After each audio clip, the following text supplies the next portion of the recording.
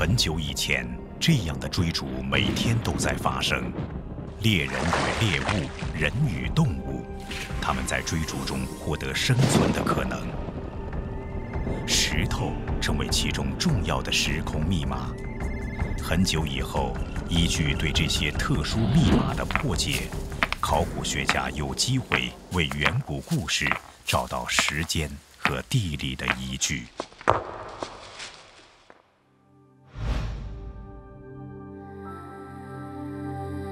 这一枚碎石石器来自一万年前，发现于太湖之中的岛屿上。它告诉今天的人们，苏州最早的文明印记与这个巨大而神秘的湖泊密切相连。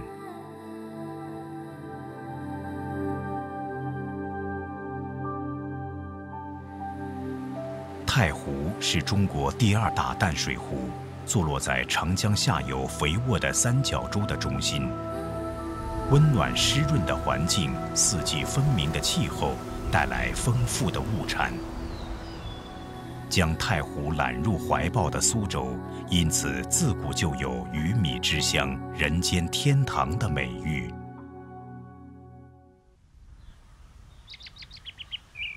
种植和捕捞是这里的人们传统的生活方式。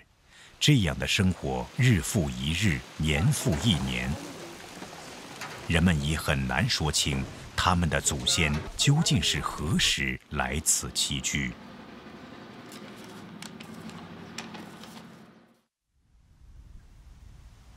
三山岛是太湖中一个四面环水的小岛。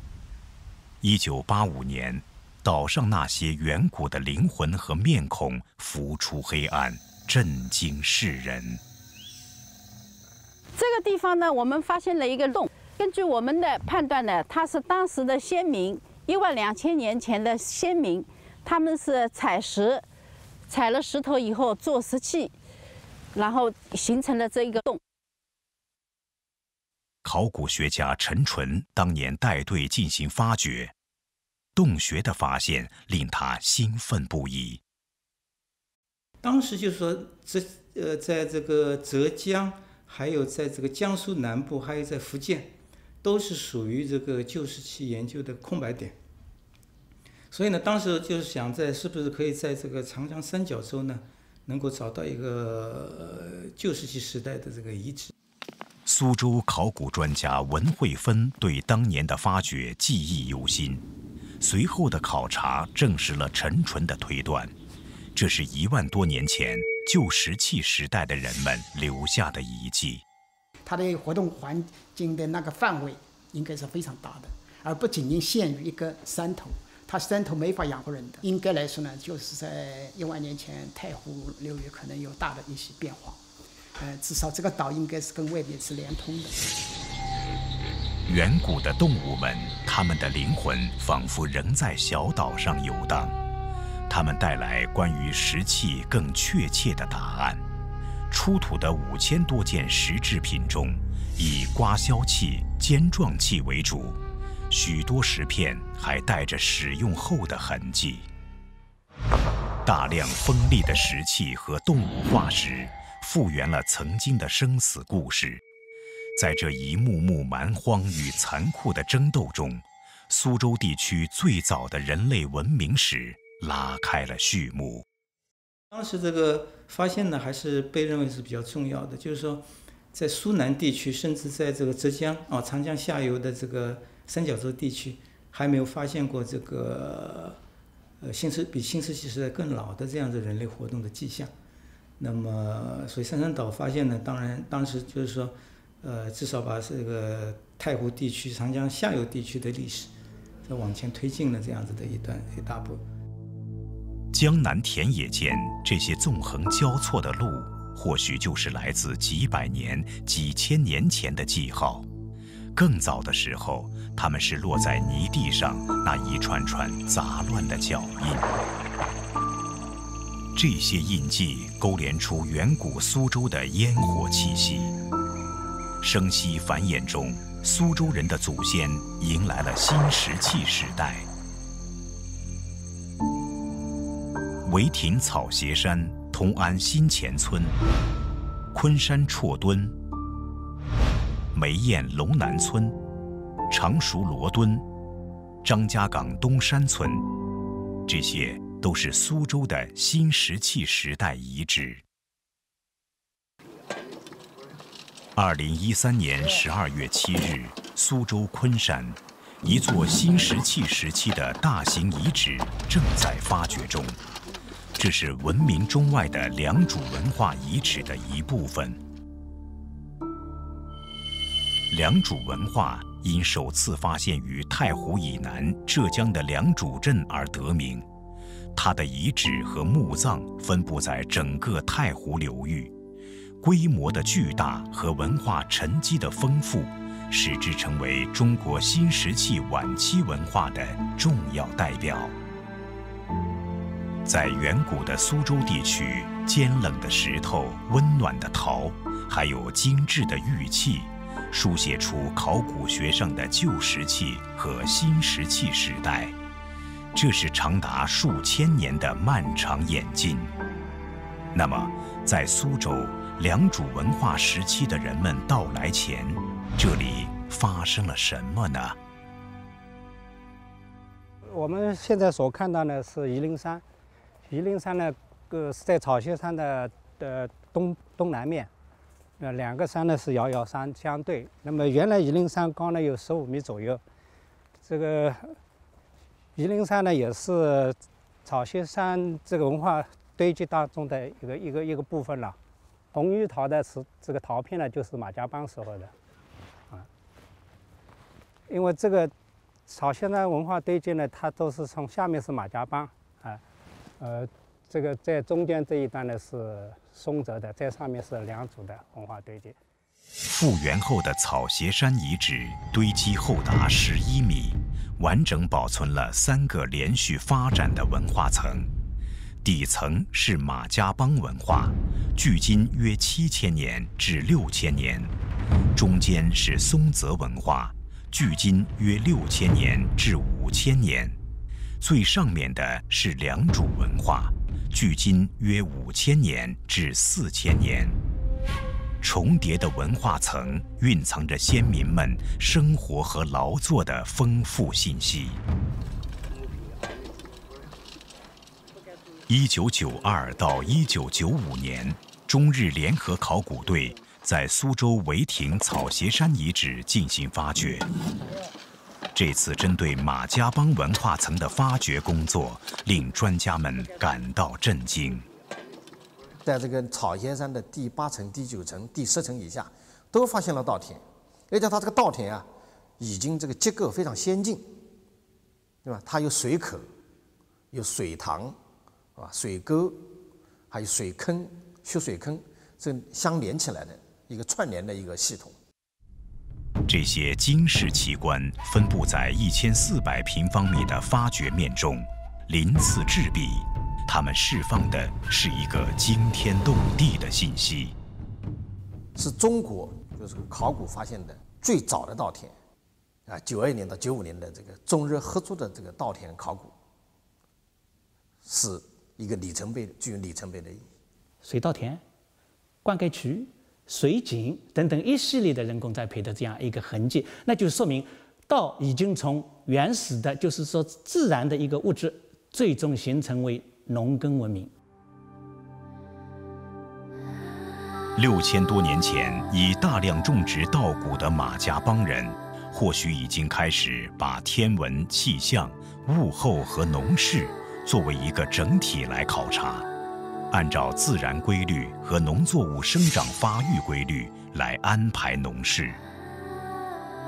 或许正是因为有了这些稻谷，广大的长江流域才和北方的黄河流域一样，成为了中华文明的摇篮。谷物让男人变得强壮，让女人变得丰润妩媚。女人开始寻找另一种可能，除了头上戴的鲜花、胸前和手腕间的骨质饰件，她还需要一件更漂亮的衣服。这一片来自草鞋山遗址的阁部，用野生阁支撑，它是先民走向文明的又一个标志。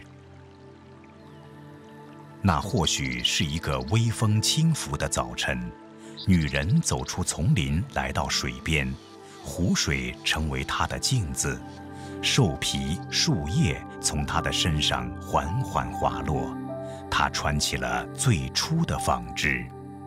那一刻，我们的先民仿佛破茧的蝴蝶。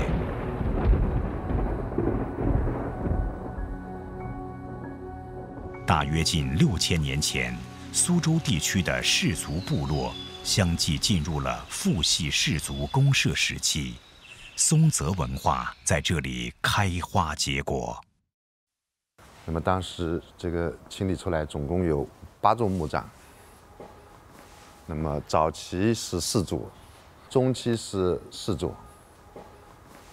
二零零九年，在张家港东山村遗址的中心区域，发现了多座大墓，长约三米、宽一点七米的巨型史前墓坑，以及随葬品的丰富，震惊了中国考古界。从那个墓框的这个规模。从随葬品数量，在整个中国范围内史前遗址来说，都达到了就是说这个整个松泽文化这个墓葬的这个之最，而且它这个年代经探测探测式测定呢，也达到了这个五千八百年。在这个高等级的这个大墓的东边，发现了一批呢小型的墓葬，就证明当时这个社会已经发生了严重的这个分化。社会分工的出现意味着农业生产的进一步发展，它来源于生产工具的进步。打磨得很精细，很实用，所以说应该说，他那个呃松泽时候的农耕文化又又向前推进了一步，他讲究工具的改进。这时候，陶器的造型变得丰富多彩，尤其是陶豆。几乎找不出两个一模一样的来。生活用具呈现出各种实用并富于艺术想象力的形态。原始手工业的发展是生产力提高的结果，也表明着生活方式的悄然变化。五千多年前，这一片山水中都是先民生产生活的所在。东山村遗址明确地反映了先民们从以狩猎采集为主，演变为以农业为主的定居生活的发展过程。这是流传在当地的一首古老的歌谣，急迫而铿锵的合唱，两字一句：灼竹、削竹、弹石、飞土，反复着就这么几句。古朴而执着，与它极为相似的民歌记载在古籍《吴越春秋》里，它们产生的年代都已无从查考。《吴越春秋》里边记载着这样的一首民歌，叫做“断竹续竹飞土足肉”，它和现在张家港地区流行的民歌非常的相似。它所记载的、反映的，就是当时人们砍竹子、削竹子、做弓箭，然后去打猎这样的一种生活场景。久远的那一刻，男人们带着渔获与猎物从湖沼和山林间归来，女人的歌声和熊熊的篝火吸引着他们，野果酿出的酒液泛着光泽。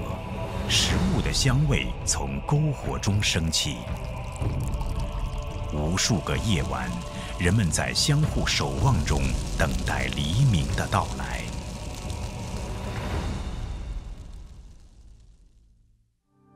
从狩猎采集到农业定居，古老的稻作文化此时也正培育出文明的果实。松泽文化遗址出土的稻壳，其大小已接近今天的水平。以血缘为纽带，以氏族为单位，大量男性劳动力的加入，使稻作农业发展为有组织的集约式农耕。那些神秘的容颜仍定格在久远的黑暗中，在山下，在水边，在田野里，有关他们的记忆随着歌声流传至今。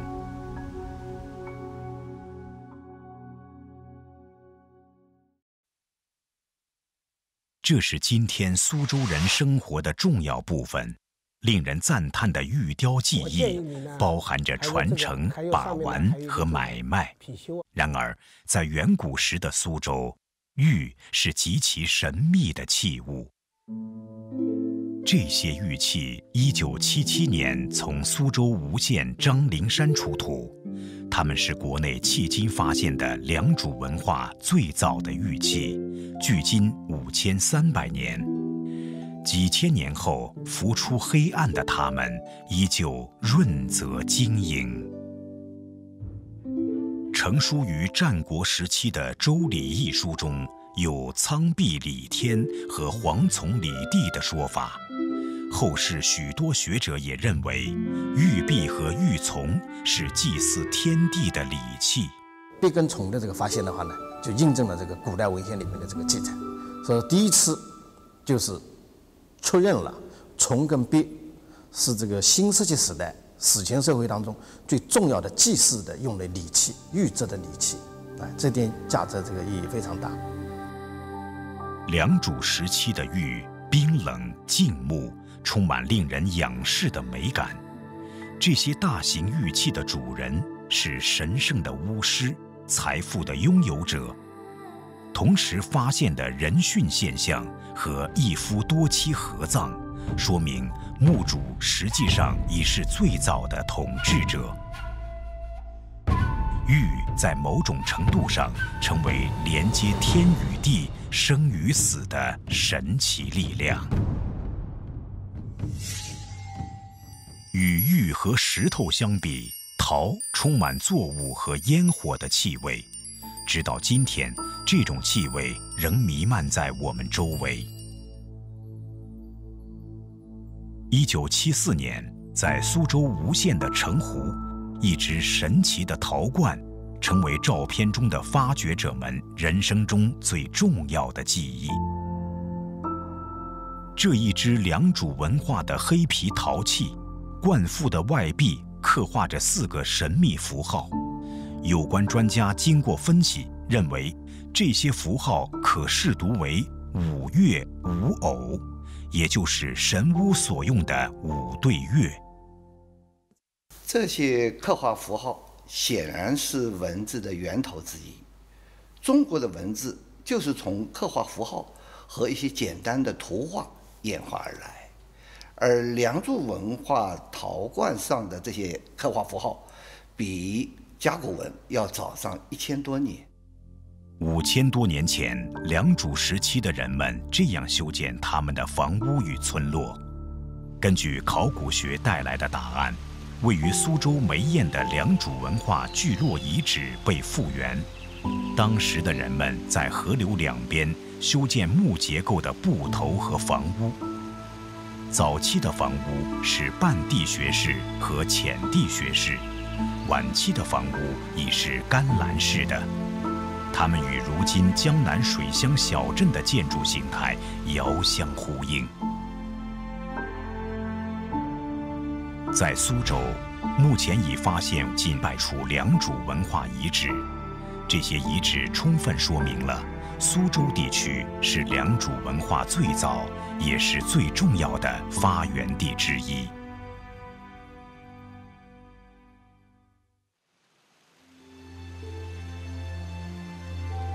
新石器时代后期发生了持续多年的洪水。上古的苏州地形低洼，太湖已经形成，但入海口经常堵塞。袭来的洪水使得苏州一片汪洋，人们纷纷躲往高山。这时候挺身而出的，就是传说中的大禹。如果说洪水是一匹脱缰的野马，大禹就是骑在马上的英雄。禹翻身下马的时候，这片水域不再洪涝频发。一万多年前的这个早晨，先民们走出洞穴，面对的是神秘而危险的自然。数千年后，大禹用人的意志带领先民重整大地山河。也正是从大禹开始，中国历史中的那些面孔变得清晰起来，仿佛从帷幕后走到了聚光灯前。禹在北方建立起夏朝，并把他统治的天下分为九州。这是中国历史上将行政区域正式称为州的开始。苏州所处的长江下游地区，那时统称为扬州。从万年前风尘仆仆的走来，我们的先民跨入了国家的大门。